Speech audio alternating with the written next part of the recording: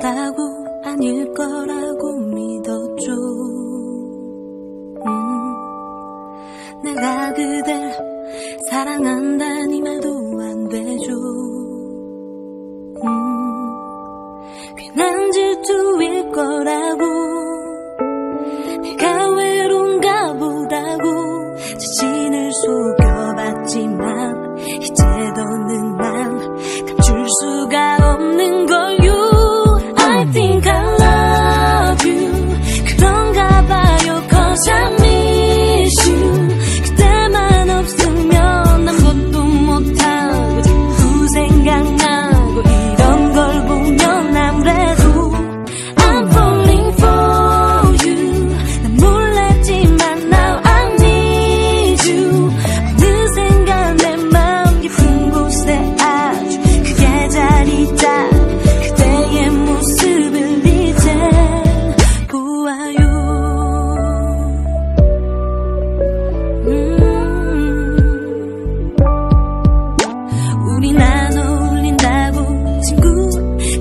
딱 좋다고.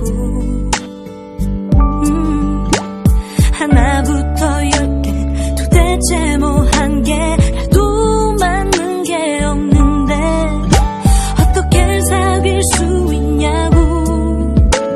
말도 안 되는 얘기라고 말하며 둘러댔지만 이제 더는 난 그러기가 싫어.